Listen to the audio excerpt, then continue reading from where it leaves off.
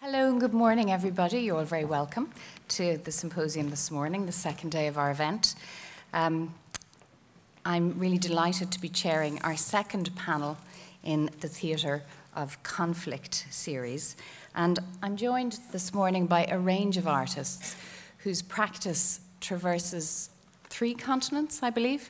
Um, and although that will inevitably inform and inflect their contributions today, that isn't actually why they've been asked to speak here today. They've been invited to join our symposium because the kind of work and the kind of artistic practice that they employ in uh, situations of conflict and post war legacy situations is particularly of interest to us. So I'm really looking forward to hearing their contributions in, on that theme. Um, I'm going to introduce all of the members of the panel now and then individually uh, I'll, I'll, announce them to the stage later on. So Dijana Milosevic uh, founded DAH Theatre in Belgrade in 1991 and she's the artistic director there. She devises and directs its performances and its various projects. And she also founded the Association of Independent Theatre Groups in Belgrade, and the Natasha Project, which is an international theatre network. She collaborates with Acting Together on the World Stage, with Theatre Without Borders, and the Magdalena Project. She also runs the International Institute for Actors and Directors and is a member of Project Ariadne, as is Hope Azeda, who's one of the leading figures in contemporary Rwandan theatre. She's the founder and artistic director and choreographer of Mashirika Creative and Performing Arts, which she's going to speak about later on. Under her direction, the group collaboratively created Africa's Hope, which was performed at the 10th anniversary of the genocide in Rwanda. She's also a fellow of the Africa Leadership Initiative and was a national creative director for the 20th anniversary of the genocide in Rwanda commemoration. Naomi Wallace and Ismail Khalidi are going to do a double act for you uh, in reading um, an excerpt from a play by Naomi. So, Naomi is an award winning playwright from Kentucky. She's written several plays, she's also written for film. She's won several awards, including the Susan Smith Blackburn Prize twice, uh, She's also won the Fellowship of Southern Writers Drama Award, an Obie Award, um, and she's also a recipient of the MacArthur Fellowship and a National Endowment for the Arts Development Grant. And very excitingly, the Signature Theatre in New York will produce three of Naomi's plays this season, including the world premiere of A Night is a Room. Together with Ismail, she has adapted for the stage Returning to Haifa, which we heard in the Peacock last night, which is a wonderful opportunity to get an insight both into her work and the original novella. Um, and Ismail, who will read with her, is a playwright, a poet, an actor, journalist, and activist, and has written on politics in, in several journals internationally also. He's the editor of Inside Out, six plays from Palestine and the diaspora.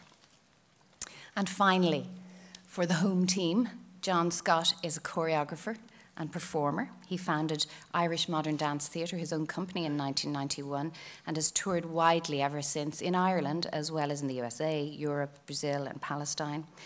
He was awarded the African Refugee Network Cultural Award for his pioneering work with refugees and survivors of torture, and that's what he's going to speak about today.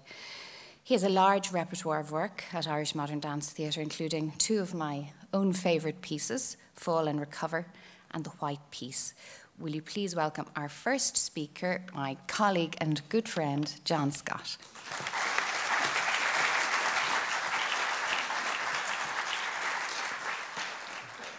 Thank you, Aideen. I'm honored after all my years growing up in the Abbey Theatre. My father was lighting designer here. Um, it's my first time to actually be on the stage here and speaking. And um, I'm honored and delighted and excited. Uh, so, as Aideen introduced me uh, so generously, I'm John Scott. I'm a choreographer. I'm born in Dublin. I uh, had nothing to do with dance as a child. I grew up um, going to theatre, particularly this theatre. I saw my first play here. I saw my first dance here.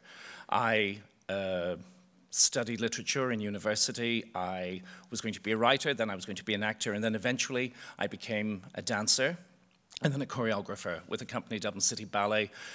I was also, uh, one time during the Dublin Theatre Festival, exposed to the work of Julian Beck and Judith Malina from the Living Theatre, and they kind of blew me away. And I spent a year running around France with them on their production of Antigone, and they were these political theatre anarcho-pacifist collective waiting for the revolution. And um, I, um, I was seduced by the beauty of their work. I was always a little bit scared of politics, and I never went into political theatre per se.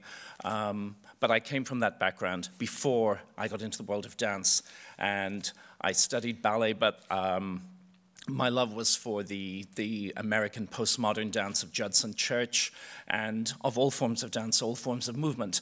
And I eventually started my own company. Um, and I started to pioneer things. I also went and I studied abroad internationally with people like Meredith Monk because the things that were happening in Ireland, I grew up with the tyranny of the text, narrative, the word, drama, theatre, um, and dance had a place, but it had a very specific place, and it was ballet or it was other things. And I found often with my work when I made it that it wasn't always understood in the context here. And I started to work abroad and study abroad more, and this gave me a kind of a voice, my own voice, which was a mixture of singer, choreographer, dancer, actor, and I make my own type of work. It doesn't have a narrative, and this is important in the context of where I'm going with, um, with my story. Um, I have my company, we're funded by the Arts Council, Dublin City Council, we apply for funding, we tour, we agonize over work, we do all the usual things any non-profit company does. And in 2003, I received an email from a place called the Centre for Care for Survivors of Torture, based in Dublin. It's an NGO that takes care of people when they come to Ireland as asylum seekers. Um, if they are seen when they're medically examined to have evidence of torture, be it physical evidence, scarring, or some sort of emotional scarring, they are often referred to this place that has doctors and therapists who specialize in torture, who specialize in things like survivor guilt and in the type of wounds that happen with torture. And torture for me was something that you read about in spy stories or in films. It wasn't something that I thought was happening in Ireland anymore um, or that was close to us. I was aware in the late 90s of the influx of people, of seeing more people of color, more people of other races in the street. Um, I didn't know how to know them or how to talk to them, but I was aware of this and um, I agreed um, when they wrote to me, they wrote to all the choreographers based in Ireland and asked if any of them could help, if they could teach, if they could do something to help what they call the clients. They don't call them the victims of torture, they are called the clients. So I began an email exchange, and then eventually I went in June 2003, and um, I agreed that I would try some of my workshops. I'm not a therapist, I am not a movement therapist, that is not my specificity, but I said uh, if what I do was useful to them, I would be happy to try. And I went into this place and I saw this group of people. I wondered what a torture survivor would look like. And I saw 10 lovely, interesting people of different ages, ethnicities. And I said to the, to the person from the center who brought me Mike, I said, are these the torture survivors? And he said, mm-hmm. And I asked, what would I do? How will I approach it? Um, and he said, the one rule is don't ask what happened. Um, you can ask them their name, you can ask them where they come from, uh, but they're in the process of being rebuilt. And um, if they start to talk, they may start talking too much, particularly when they're in an open position of trust. I was in their building, they felt comfortable there. Um, I looked up uh, the meaning, the definition of torture, uh, the UN definition. Um, torture means any act by which severe pain or suffering, whether physical or mental, is intentionally inflicted by or at the instigation of a public official on a person for such purposes as obtaining from him or a third person information or confession, punishing him for an act he has committed, or intimidating him or other persons. And then the aim of torture which I found really, really interesting um, and even more horrible than the idea of inflicting pain, to destroy the identity of the individual, to humiliate, weaken, and destroy the personality. The broken individual, by instilling fear, is then used to control society through debility, dependency, and dread. Um, so, um, the people who I was meeting for the first time, I couldn't ask them what happened. I was fascinated. What happened to her? What happened to him? Look at his interesting face. Um, but I couldn't ask. So, for me, with the type of work I do, it is non narrative. I said, Look, I'm very happy to be with you. I'm honored you've asked me. My work does not tell stories.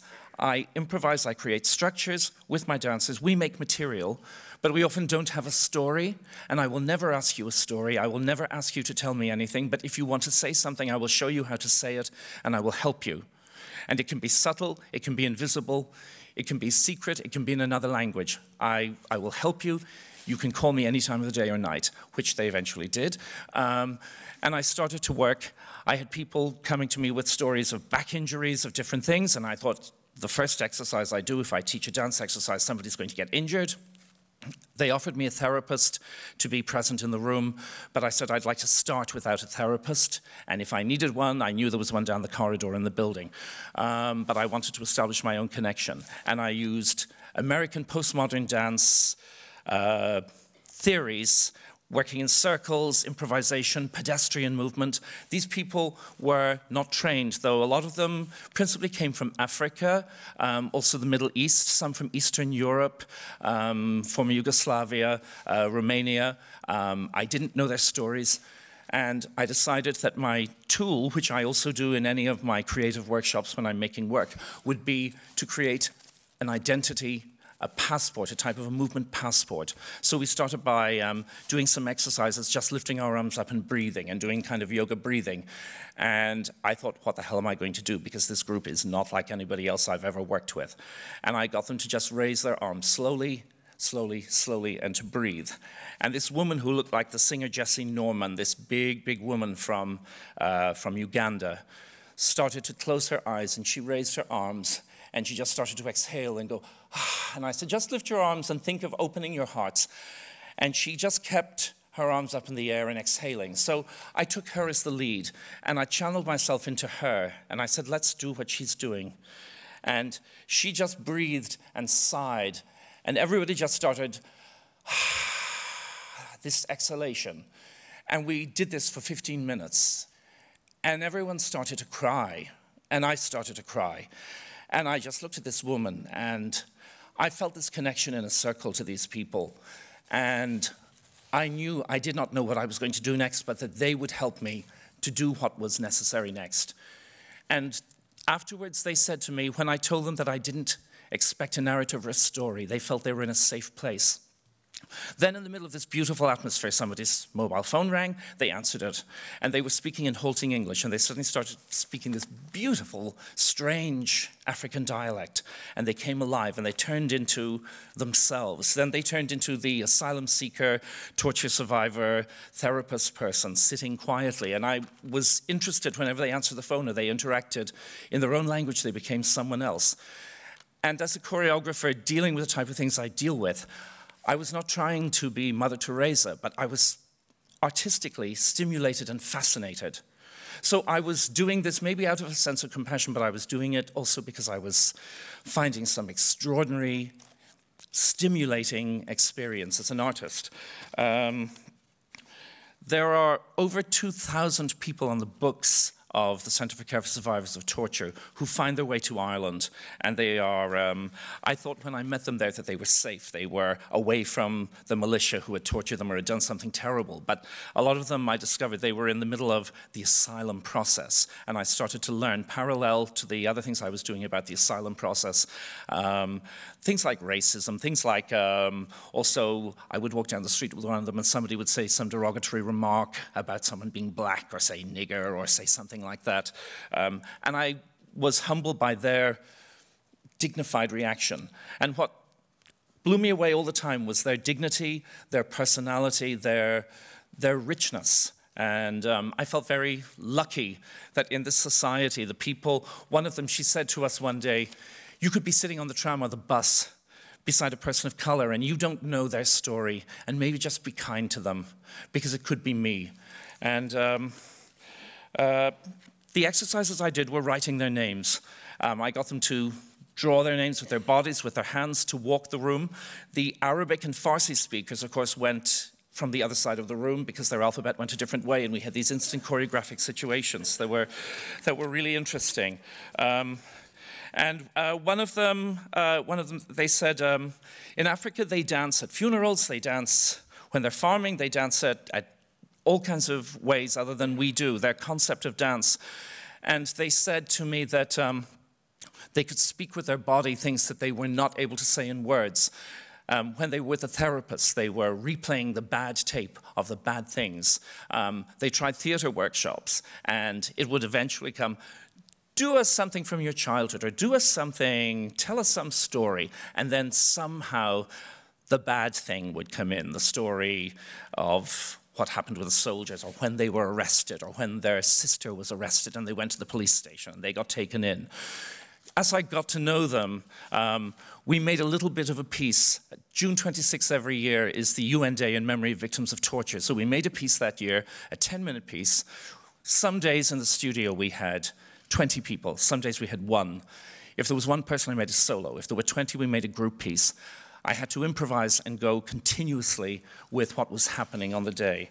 Um, and uh, I wanted um, to just keep going with the work, teaching my American postmodern techniques. Um, one of them, she said, if someone dies, they dance to express what they cannot say in words, and they make their body talk.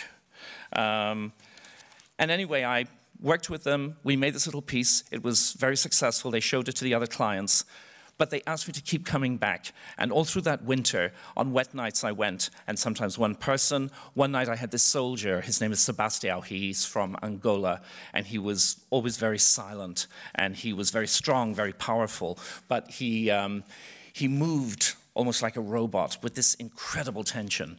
And I got him to do this breathing exercise, and I got him to improvise, and I got him to speak his name and to say the things we invented this imaginary passport about his favorite color, his grandmother's name, the sky, the sky in his country, the past.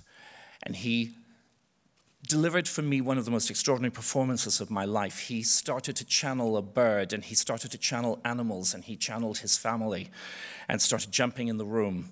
And then he stopped and he burst into tears and he said some of the language he spoke he had never spoken since he left his home. And he hadn't spoken it since he had spoken it with his family and they were dead. And it brought it back to him. And I thought, what the hell have I opened up here? But we hugged and I asked him and I asked the others if they would like to make a piece together because what they were doing, I was seeing the greatest dances of my life. I was having the best rehearsals of my life and the best experiences. And I thought people have to see this. And at the same time, parallel in Ireland, we were having a referendum on Irish citizenship rights. And the political parties were all in favor of amending it to take the birthright away the citizenship right of someone born in Ireland to be a citizen. Um, they said it was being abused by bogus asylum seekers, and um, there was this huge movement. And uh, I was going in and having these extraordinary experiences, and outside there were election posters, there were really disgusting radio broadcasts and interviews by leading politicians who were playing the race card, playing a horrible racism card. And this was contrary to the reality that I was experiencing. So they agreed to make a piece, and we did it for the following year, for the 26th of June, as a one-off in Project Arts Center. I called it Fall and Recover. Fall and Recover is a technique invented by an American modern choreographer called Doris Humphrey. And uh, it's about the idea that movement happens in the equilibrium between balance and falling and between a kind of a two, there's a vertical death and a horizontal death. And I thought that the context and the experience of the people I was working with, this was the right title for the, for the project. So we made this piece, and once again, we had different rehearsals with two people, 10 people, 15 people. It always seemed to work out at 13, and we made the first performance, and it became this phenomenal thing. I integrated all the things that I learned from them. I taught each person rather than teaching them movement and getting them to learn movement the way a professional dancer, I work with dancers who have worked with Merce Cunningham Company. I have a 75 year old ex ballerina from the Royal Ballet. I have an 80 year old veteran of Merce Cunningham and Judson Church, Valda Setterfield. I work with many different types of people, many different bodies. But I was learning so much more. The restrictions, I thought, I'm not going to make these people learn some little phrase. I got them to become their own choreographers. I taught them how to improvise within structures. And each of them made stories. One day I said, do something from the present that you do every day. And people did dances, miming having a shower, miming running for the bus. And I said, do something from the past. I had this boy um, from Sudan. He came late the first day and he opened his legs like a professional dancer into a wide side splits, and I thought this guy's a professional dancer. But he was a 17 year old nomad. Um, he would never talk about what happened. He said he had had an operation, but he was too ashamed to talk about it, and he would not talk. And, but he could do backflips, he could jump, he could kick his legs up to his ears. And for his improvisation, he did that. And people would do things and they'd say, Oh, I was a farmer and I'm planting seeds. And he just did this. And I said, What's that? And he said, Oh, it's the last thing I did when I saw my mother. He went off in the morning to the animals and he waved at his mother and he came back that evening and the village had been massacred and burnt and his mother was buried by sundown so he never saw her again. And this person who had all this extraordinary movement facility this was his statement. This was his solo. And i had these things of okay? I had these, these moments of great richness. Um, I better uh, get a bit um, more disciplined with this.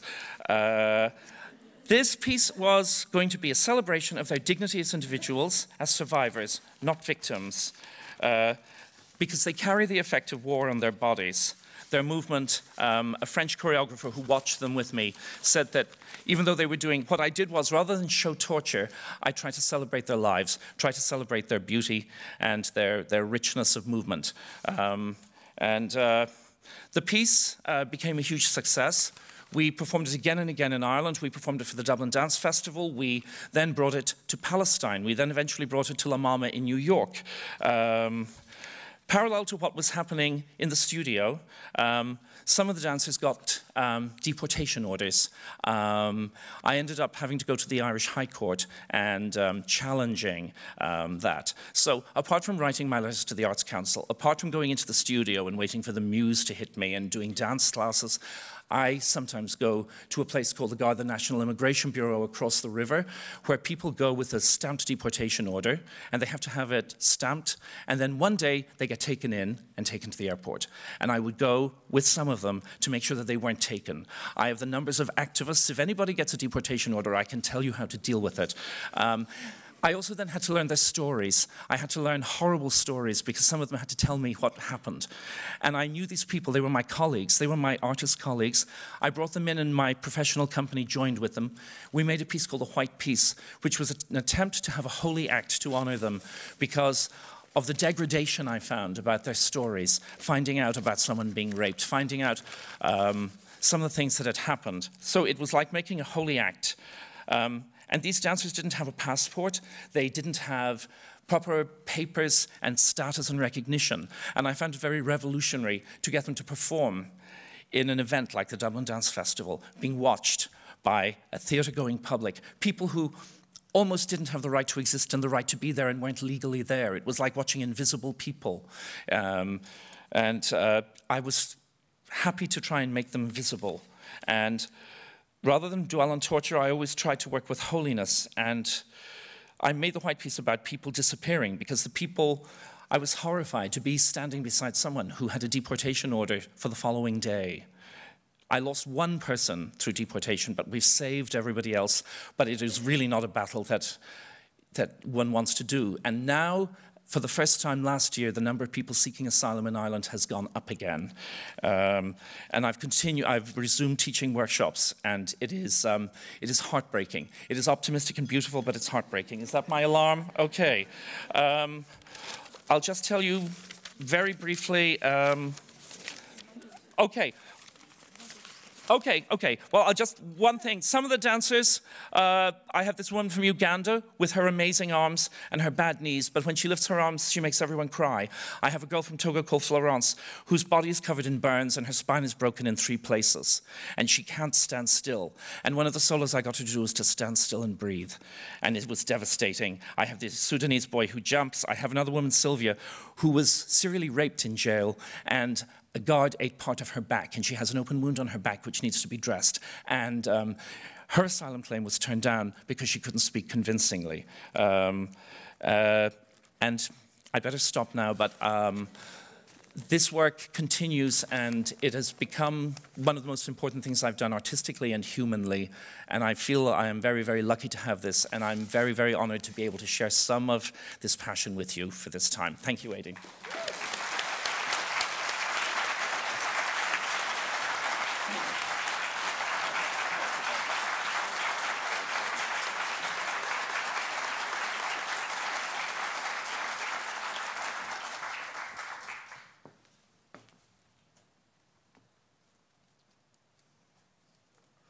We're going to hear now from Dijana Milosevic, who's going to show you some images of her work as well as speaking to it.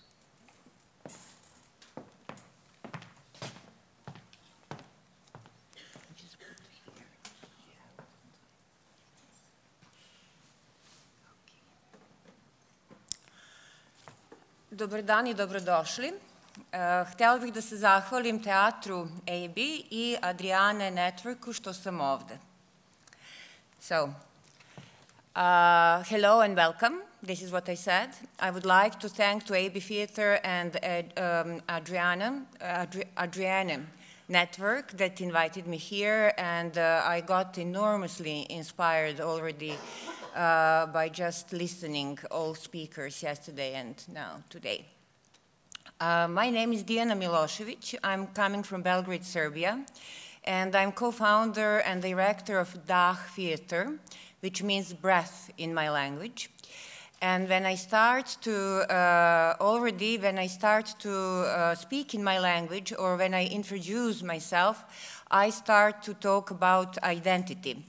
And this talk that I will give you will be uh, hopefully uh, divided into short sections with titles. So the first one is about identity. Um, when I uh, introduce myself as uh, Dijana Milosevic, it is already uh, the question about uh, what do you do, how do you negotiate when uh, your name uh, got another meaning. Because in 90s, during the civil war in my country, dictator's name was Milosevic, so no relations, please and this is something that I had to start with um, when I was talking in many uh, places around the world uh, for many years, uh, just to uh, tell to people no relations with dictator. Um, my language that I uh, grew up with was Serbo-Croatian, and today we call it Serbian. So again, uh, after 20-something years of living in one language, I learned that it has actually the half of its name, that it became Serbian. And then my country that uh, I was um, born in was Yugoslavia. And then in the course of my lifetime, it changed its name about five times. So it became like from um, a so socialistic Feder federative republic of Yugoslavia, just uh, uh, Republic of Yugoslavia, then it became the Serbian Montenegro, then it became Serbia finally, and in that process it basically shrinked. So how, um, so very often when I travel, like still today, I need, when I'm at the customs, sometimes with my bizarre passport in Cyrillic, like with Serbian passport, and that uh, our government decided to put in Cyrillic, although we use both alphabets, Cyrillic and Latin. Uh, still today, sometimes I need to play this game with custom officers and they say like, where are you from? And then I'm like, we don't have you here in computer, your country. And then I would say, well, try Serbian Montenegro. And then they would say, mm-mm. And then I would say, try ex-Yugoslavia. And then he was like, oh, okay. And so it's like that very often that still today, we, uh, or when I'm trying to pay something with, by credit card on internet, very often I have to give few options about the name of my country. So uh, how one negotiates this situation, how one um, uh, deals with the fact that not only I, I can't speak about my uh, language, my name, and my country that, uh, uh, that uh, they were stolen from me, but I got, they got the other meanings. So the way how to um, uh, reinvent myself for me was working theater. For me, theater uh, was and still is the shared space, the shared space where we can communicate and where we can live paradox. And that became very important uh, to me because when we started in 1991 as a young, unknown uh, theater group, the Civil War started at the same time, and uh, uh, we didn't plan it. We didn't know that it would start, and so we just had to react to it. So at the very beginning, uh, we had to pose very important questions, uh, and those questions were, uh, what is our responsibility as artists in the times of war? Uh, can theater um, do something against the conflict, against the war? Do we have it all right to do theater while people are suffering so much near us, and not, and not, only near us, but in our names, because the government, that uh, uh, Serbian government was basically initiating that war, and I mean, it really um, uh, they were uh, doing the war in our names, drafting our men and doing uh, lots of atrocities during the 90s. So uh, our answer to those questions uh, was to create anti-war performance.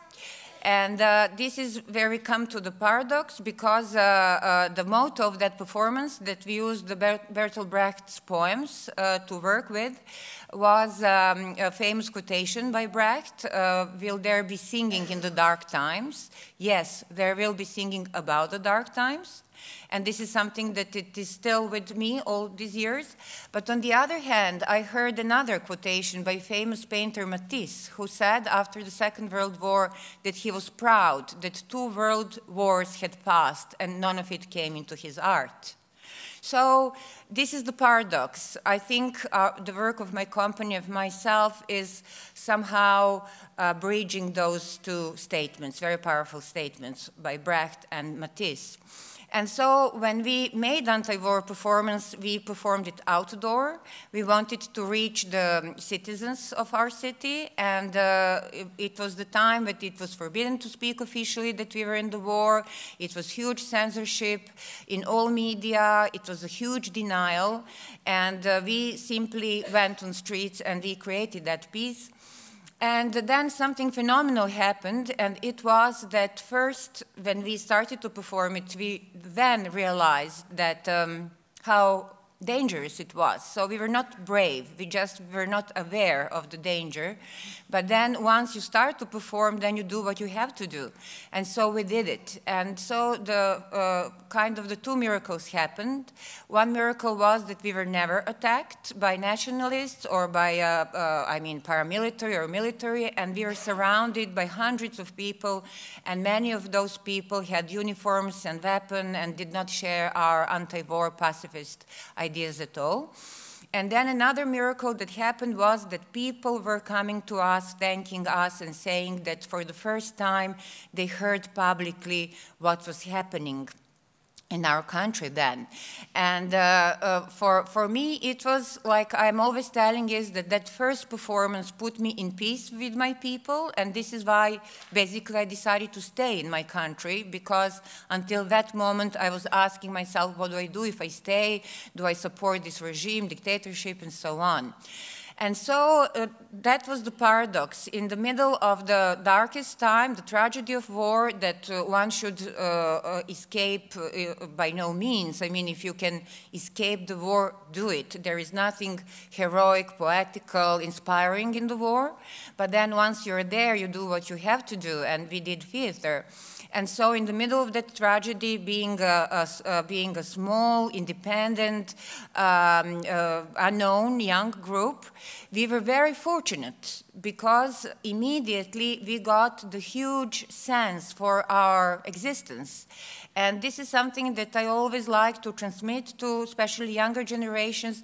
It is very important really to find the sense of your work. And we immediately got this sense from the feedback of the people, the citizens of our city.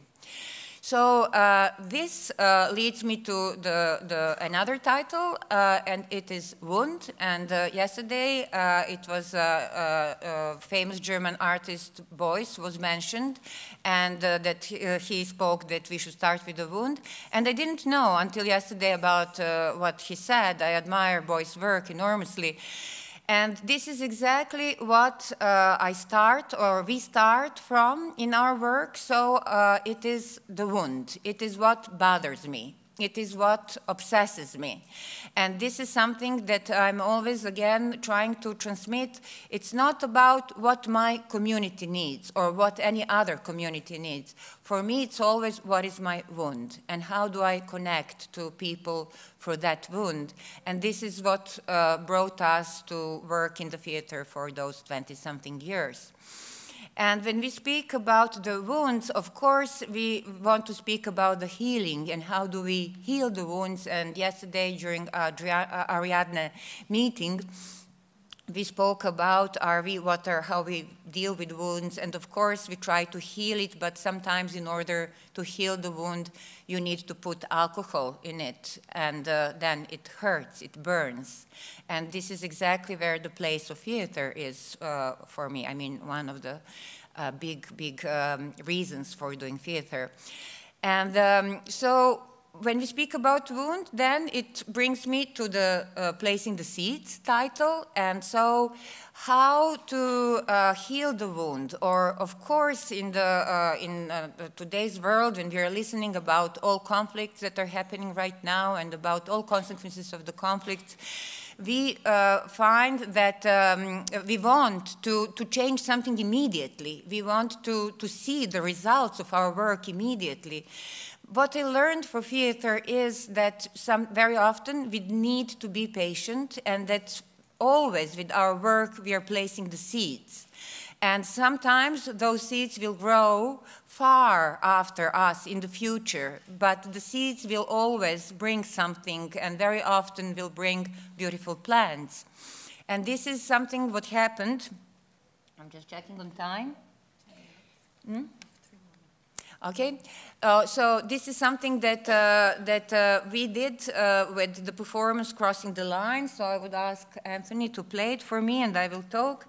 It was the performance that was based on the book Women's Side of the War, published by Women in Black, the activist feminist uh, group and movement in Serbia, but also around the world. But this book was published in Serbia and it consists uh, of uh, real testimonies by the women from the whole region, regardless of their ethnical, economical background, age, or anything else. So there, these are testimonies uh, by women from Serbia, Bosnia, Kosovo, Croatia.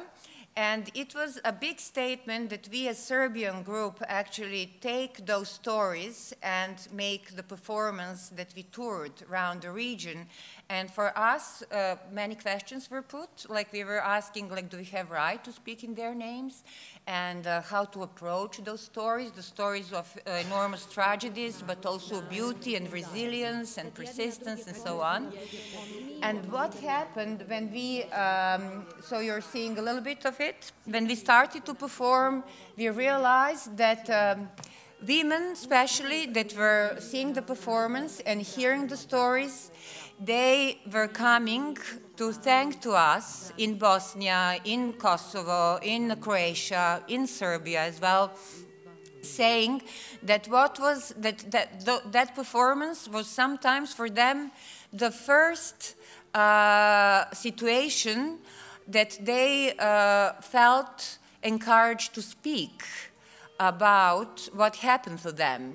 And that for them, what was extremely important was acknowledgement of their wounds, of their situations, of their tragedies, and this is how the healing could had started for them. So this is, uh, of course, uh, when you work with very tragic and real stories, one questions, what do we do? How do we create this peace without leaving everyone in a dark hole at the end? And you can't make fun. You can't uh, entertain people with that performance. But of course, you can do many other things. And this is how we ended the performance. For us, it was like uh, creating the healing ritual that we invented during the performance. But in, then later on, we realized that uh, cleansing with the salt is something that the native people do all around the world. When we were in New Mexico, we realized that this is the ritual that people do once a year. When we were in Bosnia, we realized that there is the saying that the blood would not go to the salt. So it was quite phenomenal to discover that we picked up something that was already in the air. Can we have the sound a little bit? Anthony? Can we get some sound, please?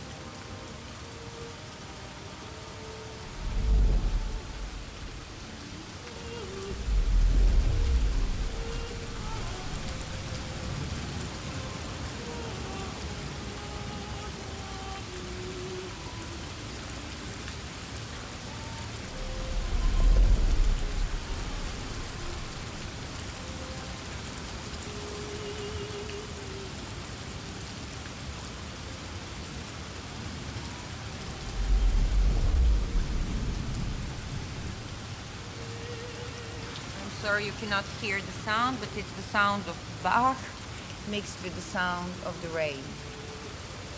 You can, you can hear? Then I can't hear.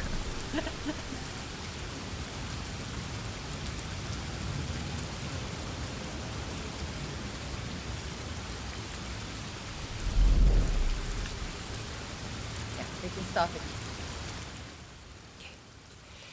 So to end this um, uh, talk, and it's, uh, you know, you always think there will be a lot of time to say uh, many things, but um, I would just like to finish with the last uh, title that I put for this talk, and it is Political Message slash Artistic Excellence.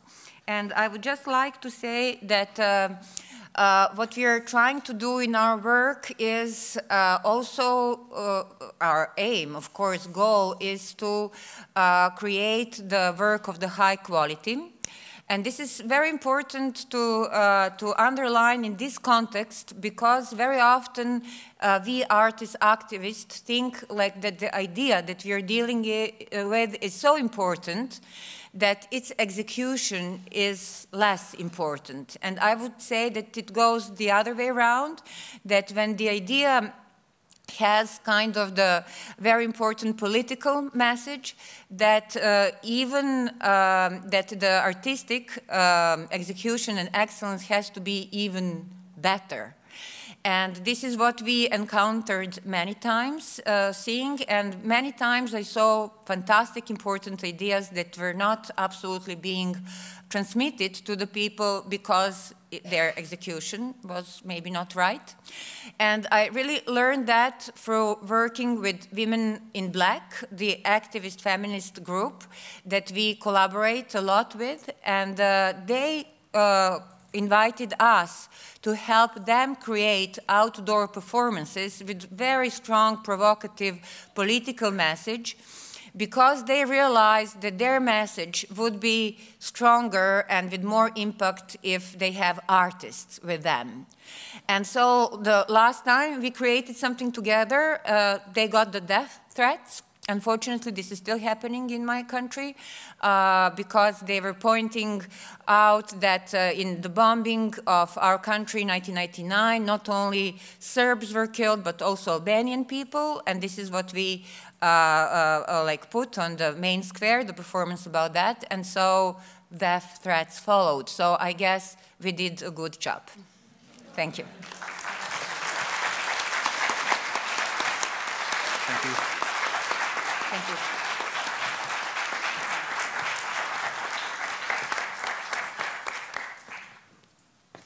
Thank you very much, Dijana. I'd now like to welcome Naomi and Ismail, who are going to read from Naomi's play, One Short Sleepe.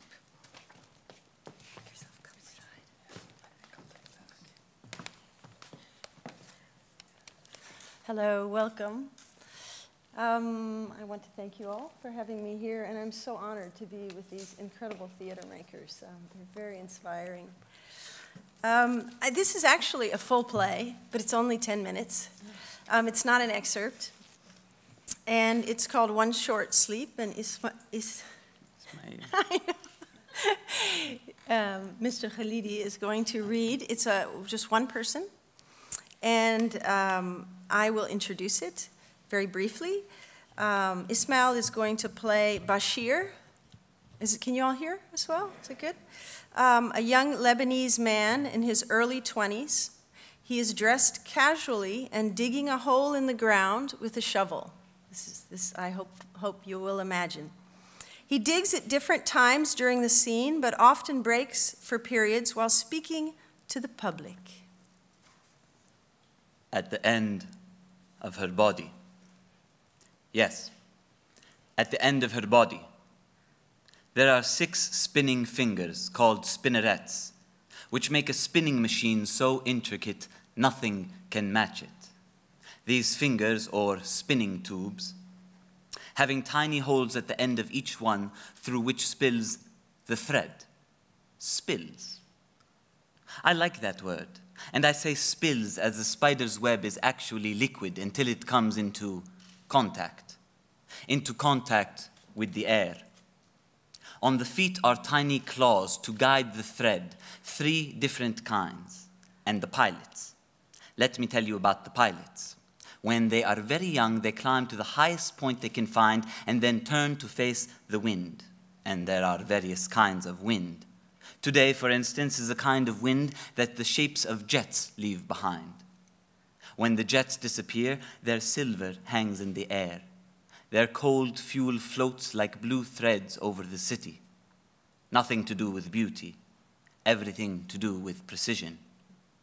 For the spider then stands on tiptoe, raises its opisthosoma, its abdomen or end, as high as it can in the air and sends out a stream of silk from its youthful spinnerets. The air takes up the thread, and the spinner pays out its line until it's long enough to tug the spider and hold its weight.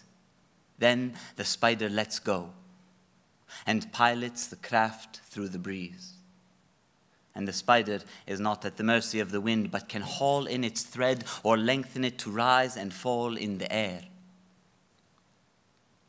This tiny perfect aircraft may travel long distances, even out to sea, perhaps to end up on foreign soil, or, if unlucky, to spin its thread on a wave. A wave. That's how they came for us. Wave after wave, the pilots covering the ground, covering the ground with four, covering the ground with four million, covering the ground with four million cluster munitions, covering our streets, our roofs. The bomblets lay their hard fruit in the broken road, and they were made not by God, as the spiders are, but by hands. Soldering, cutting, screwing, polishing, testing, and I studied, I studied. Up until the moment of spinnerets, the spiders and their wonders, of all the studies I could have chosen at Beirut University, I chose entomology because spiders have eight eyes, arranged in two rows on the front of their heads. Eight eyes, imagine it. It was summer in the year 2006. The jets took off just outside Tel Aviv and Haifa, perhaps even Jerusalem. And my enemy, my brother, the pilot pulled the night smooth and tight across our garden while my sister Ghada examined an ant on her finger. She held the creature up to my face. Get lost, I said. He holds up the blade of the shovel and talks to it as though it were his sister. Get lost, Ghada. I'm reading. I have exams tomorrow, little girl. You know nothing about spiders, and soon I will know everything. We were cruel to each other. my eight year old sister and I, because we loved each other absolutely. I was turning the page of my book on spiders.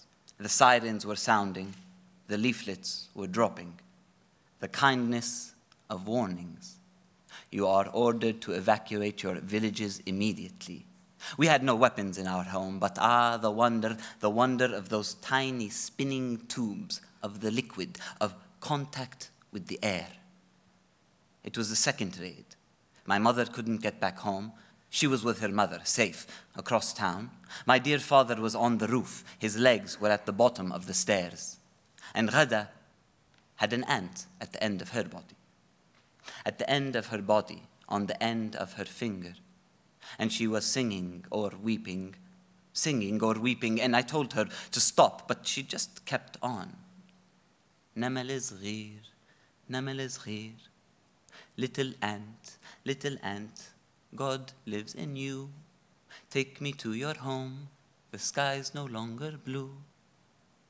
I said, He speaks to the shovel again. Shut up, sing about spiders, you stupid girl.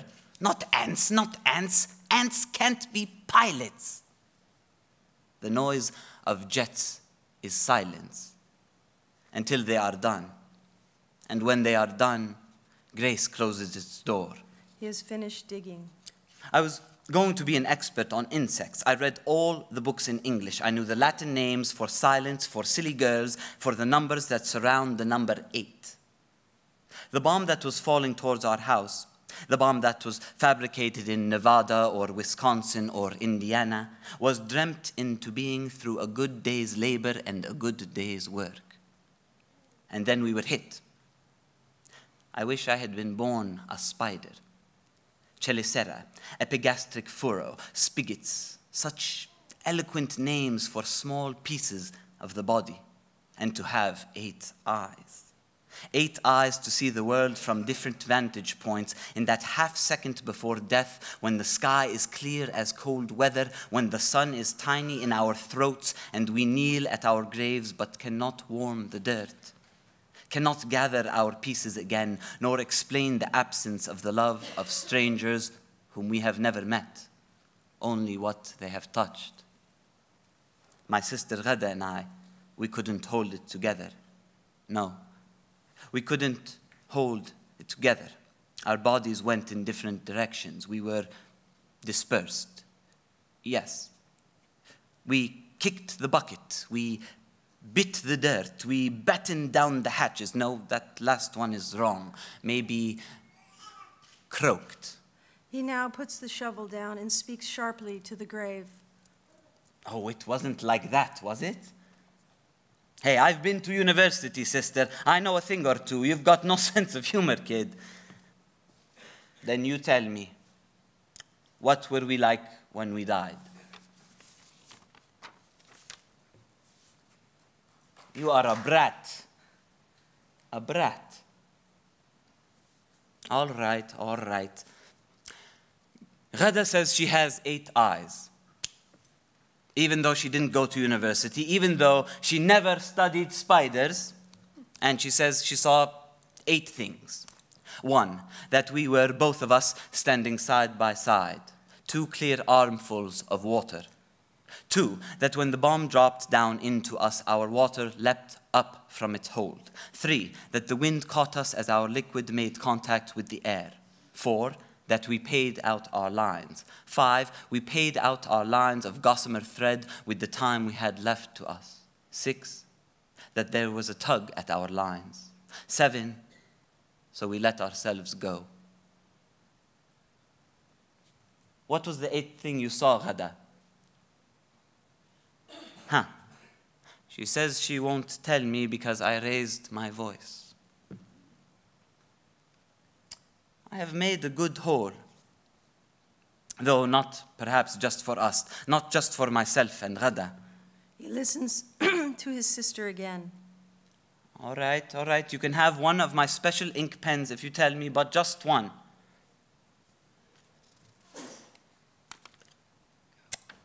With the eighth eye, my sister says she did not see anything. With the eighth eye, in that moment, she heard a song. How can you hear with an eye, silly? Oh, that's how? Though I'm forbidden to tell you. Yet. But I can tell you what she says she heard.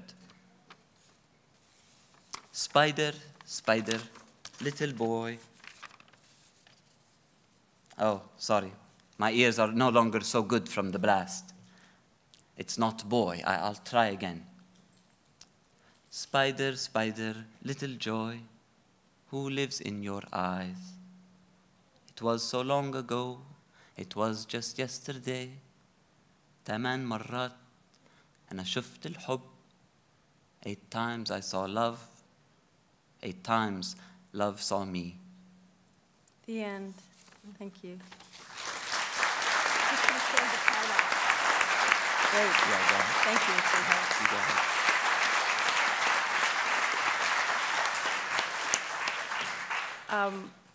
S- uh, I just want to say in one minute, very briefly, that the a book uh, about the bombing of Lebanon in 2006 that inspired uh, me to write this piece. It's called, um, it's by Franklin Lamb. It's called The Price We Pay, a quarter of a century of Israelis, Israel's use of American weapons against civilians in Lebanon, 1972 to 2006. And um, I I, I write about many things in, in theater, but I am interested in, I'm an American citizen, a U.S. citizen, and I'm interested in what my country does abroad, as it's very much connected to what happens internally. And uh, growing up in the United States, I came to realize that the U.S. is one of the is the largest exporter of war and terror in the world. And um, although that's a hideous thing, it's it's something that I've um, books like Franklin Lamb, Franklin Lamb's book, um, are able to connect um, the bombing of Lebanon by Israel to American weapons. And that's the kind of thing that fascinates me to follow those trails because um, to talk about war in the plural, I mean, in, in the general is very important, but also to talk about who profits from war specifically and what countries profit from war. So thank you very much for listening.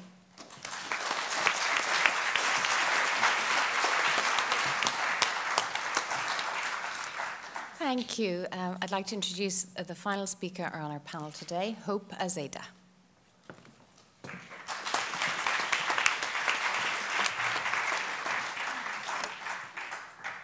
Good morning. Uh, let's raise one, our right hand up hmm, and just wave and smile. Good. That's the African spirit. Hmm. Energy. Hmm. When I was growing up, my mother told me that you should always say good morning in the morning when you meet people, and when you say it, smile. Say it to strangers, say it to your enemies, say it to anybody. It's good for them and good for you too. Hmm? You don't lose anything. Hmm? Hmm? So um, it's very difficult to travel thousands of miles and you have to speak for 15 minutes. but I'll try and squash everything in 15 minutes. My journey is basically 15 years, so I'm going to bombard you with lots of short clips. So fasten your seatbelt for this special bombardment of life. Um, my work entirely depends on uh, my history. I was born a refugee uh, in a neighboring country called Uganda. I was, my parents fled Rwanda in a pre-genocide that was not as good as the one in 1994. It was not a good job done because it didn't have a big impact like it had intended to have. So they managed to escape Rwanda in 1959 and went to Rwanda, no, to Uganda. So that's what happened to so many Rwandese. They went to different countries. So I, I happened to find myself in a uh, country called Uganda, and that's why you're so lucky that I, am speaking English. because Uganda was a British colony. So we were taught to, to learn to speak English properly hmm? and pronounce every consonant. yes, otherwise you'd be speaking Japanese or French or other things and you have a translator near me, which would make the 15 minutes a nightmare. Uh, so where I was born uh, as a refugee, a lot of children were given names like hope, patience, peace, joy, faith. things that refugees didn't have created them in a spiritual way. So my father was just happy to have hope, even if he was in a hopeless situation. To have a little girl run around and, oh, hi, hope, hi, you know, he's happy, he has hope around. but I've learned to appreciate my name when I went back to Rwanda in 1999. So I've been living in Rwanda now for 15 years. That's my country. And I went back after the 1994 genocide. So in Uganda, I studied, uh, I pursued theater studies, and that's why um, sometimes I think that it's my call to be an artist in Rwanda, because when I went back to Rwanda, I started using theater as a tool or a weapon of social transformation. I didn't have anything to do. I didn't know how to do anything. I don't know how to fish or do other things. What I can do is just sit and create plays and teach them. Uh, so when I went back to Rwanda, I, was, I went back doing fiction kind of plays where I just sit and imagine things. But when I went there, the reality I found on the ground crushed me to start thinking of the text. And sometimes I tell people if, that if my teachers at university saw the plays I write today, they wouldn't give me any credit because I break so many rules. And I find life to be like that. Huh? You can't write life. You can only live with it because theater is alive. And that's, you don't learn to do that. But you, environments you live in teach you to do that. So um, when I went back to Rwanda, by the way, Rwanda is a very beautiful country. Has anyone been to Rwanda? Yay, good. Rwanda is one, I'm not going to lie, is one of the most beautiful countries in the world. It's called the land of a thousand hills, the land of milk and honey. It's the Switzerland of Africa. Uh, there's an ancient saying that uh, God used to sleep in, in Rwanda, huh? but the day genocide happened, he had not slept in Rwanda. Huh? So a lot of artists created works around asking God, where did he sleep that day? Where was he that day? So I'm going to share with you a very difficult video, but that's, that's a reality that we live with. But this is the background I lived, I, I found that I had to create, I had to create against this background. Yes, I was born in a war turmoil country, Uganda, which was led by Idi Amin, one of the top most popular dictators in the world. And bullets were just normal sounds around us. And I, I enjoyed a lot shifting from place to place because I would meet new friends, but I was just a child. But that's what it was. But the war in Rwanda, in, in Uganda, was not what I found in Rwanda. What I found in Rwanda was totally different. And that's when I started learning that there's a difference between war and genocide. So I'm going to play you a video. It's called Not on My Watch, uh, compiled by uh, an organization we partner a lot in creating pieces, uh, around the pieces that I do. Should I just like that? These things I don't like. not that I, I'm not, I don't use social media. I use Facebook, but not this.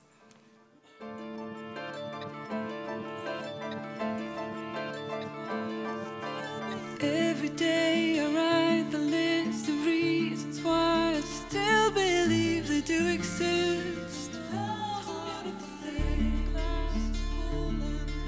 And even though it's hard to see, the glass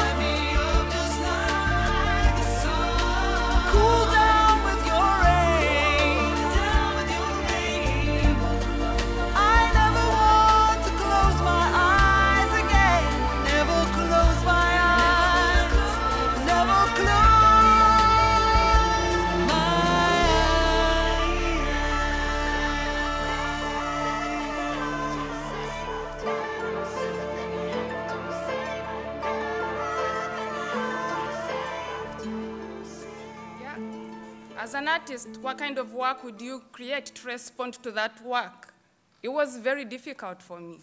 I felt like everything I'd learned in, my, in school was useless.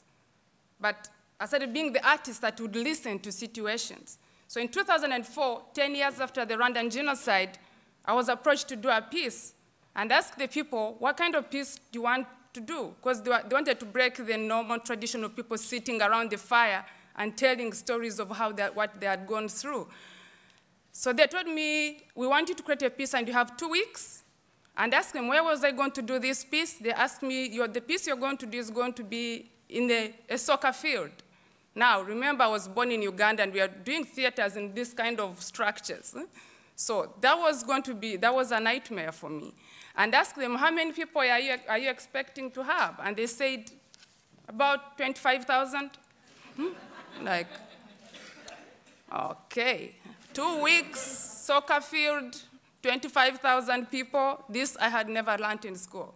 I even don't know how to think of a soccer field because I think I already see football, which I'm not a big fan of. But I started loving the field now, visiting a soccer field. I said, what kind of work would you do here? So I had to cheat. I used a massive cast to fill that field. so I used a thousand people to go with a thousand hills of Rwanda. The piece was 100 minutes long. But what shook me in that time, I had to, uh, we, had, we, we started like working on this piece, and the process was quite different from what I had gotten used to. I was used to where I work in the space as a director and tell, and tell people what to do. But this was not the case. I worked in the space with a lot of papers, with a lot of text and testimonies, and uh, we decided to look at genocide through the eyes of a child because even us as adults, we didn't have, question, we didn't have answers as to why genocide happened in Rwanda. They talk of colonialists came and divided people, blah, blah, blah, blah, but is that enough? Does that explain why a man wakes up one morning and, hunts, and kills a baby? Doesn't explain it. So we are looking at genocide through eyes of a child at that time, and the piece was called Rwanda, My Home. It was well done piece, Thank God, got exhausted emotionally, but the rehearsal process was the most amazing process. The rehearsal process was a process whereby some moments in the piece, the cast would break down. Now imagine you have over 200 people working in small groups, and musicians break down to cry, and you're running out of time. You have one week to go, and you can't tell people, come cry very fast, you know. we have a show. You can't do that. I gave up. I gave up doing that. I was like, you know what? I'll go with whatever comes.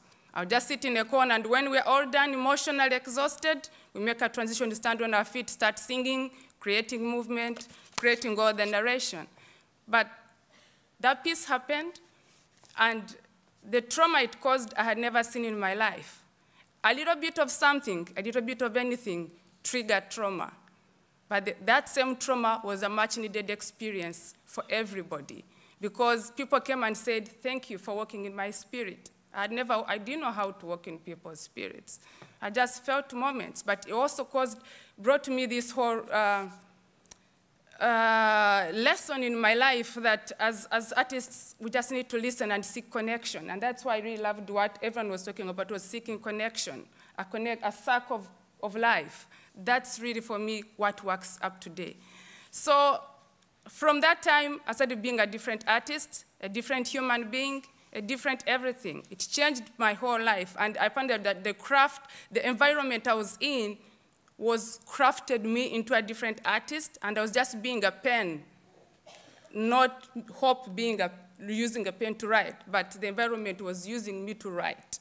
And that's what it was. So I'm going to share with you another short clip of different product, uh, projects I did so you can have an idea.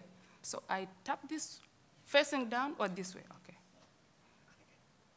And again, okay, good. Oh, this piece uh, is what came out of the performance I did in the stadium, but this is a, short, a, a, smaller cast because it was invited to the G8 summit in Scotland, so I took 12 people to do it.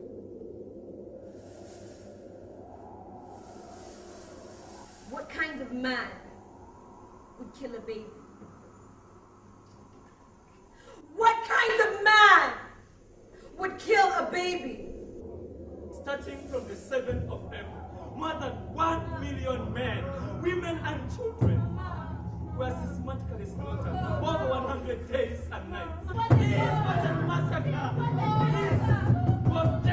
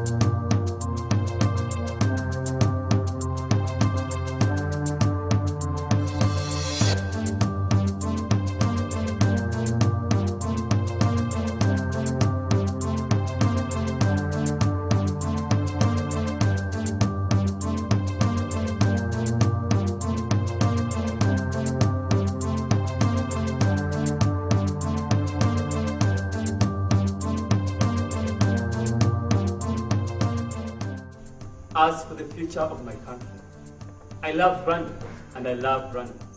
And I love those who love Rwanda. I don't look at people as Hutus, Tutsi, Twa, black, white, or whatever. I look at them as individuals. And I think that's important for Rwanda, Africa, and for the whole world. Okay, that was just, uh, later that show was called Africa's Hope. So I'm not, and I didn't like this title much because I don't want to be called Hope and I'm doing a piece called Africa's Hope. That's not very creative, but you know, but the producers wanted that title because Rwanda was beginning to be a lesson to the world. When you come to Rwanda today, you wouldn't even know there was war 20 years ago. It's quite so developed. So I'm going to show you a journey of 15 years in just two minutes.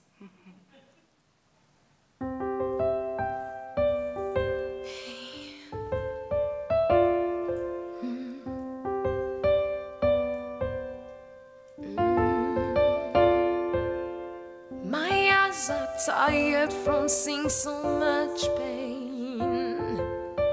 My heart yearns to be strong than before. To still be able to share and receive love. Why destroy what God gave us so lovely? Brotherhood, don't forget my brother, komezanye dufatanya kwiyubaka nidushyira hamwe tuzagera ku bikomeye We all need to fight. We all need to believe in it. We all need to stand for the echoes of peace, echoes of peace. We all need to fight. All need to believe in it. We all need to stand for the echoes of peace, echoes of peace. Mm. echoes of peace.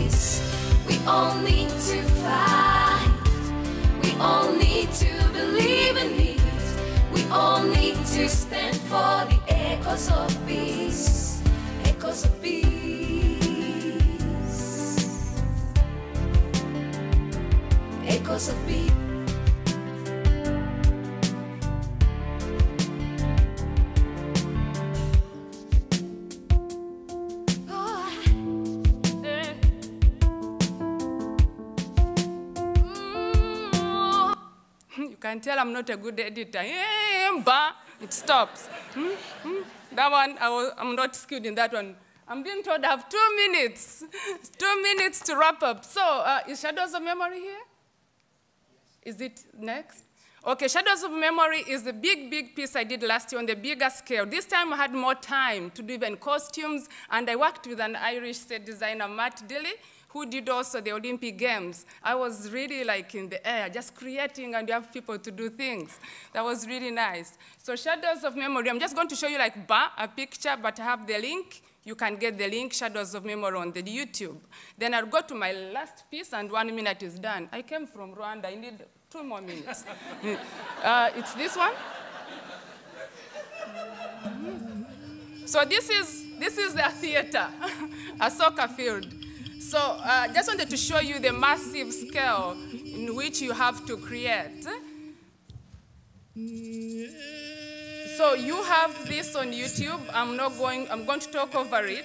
Uh, I'm not going to spend so much time on it. This is a piece where I was being asked, uh, you show the whole Rwandan history in 20 minutes. Again, like talk about your 15 years in one, 15 minutes. So 20 minutes to talk Rwandan history with pre-colonial time. Because I was always asked, why don't you add colonialists? Why don't you add this, this? I'm like, maybe it's not the time. But this time, good, I had colonialists on board. So when you see this piece on YouTube, you'll see whatever I was being asked to do. But after this piece, last year in July, I did a piece I wanted. So the piece I wanted was, about, was a question about humanity. And this piece was called Bridge of Roses. Uh, I'm going to stop that. Hmm? Sorry. Hmm? But it's on YouTube. But you can tell. Hmm? Imagine if you're directing here in this theater and they tell you, go there. What do you do? Uh, okay, I'll play it after I've talked. So my biggest question right now as an artist is, is I have come to know that in the last 15 years that a human being has two things in them. We have the rose and thorn, or we have the devil and the angel, or we have the good and the bad. And uh, it lives in us. It lives in us. And what happens to a human being that this thing comes up? So this thing, uh, this play Bridge of Roses tackles of, uh, young heroes of humanity, and I specifically focused on a young girl who was 10 years old and rescued a baby girl who was of a different group called Tutsi, and she was Hutu. But she went against all odds to save her. She was threatened to be killed, but she still saved this girl. She was just 10 years. So it keeps questioning myself, would I do that in that situation? So those who know the Rwandan history, we have the issues of Hutu, Tutsi, Twa, that different ethnic groups that were created by colonists, depending on social classes. So this piece is called Bridge of Roses. It's a piece I'm developing, and I started developing it last year you know, uh, in 1st of July. But it's a piece for me that questions the level of humanity. Uh, I'm going to play it. And then I'm done.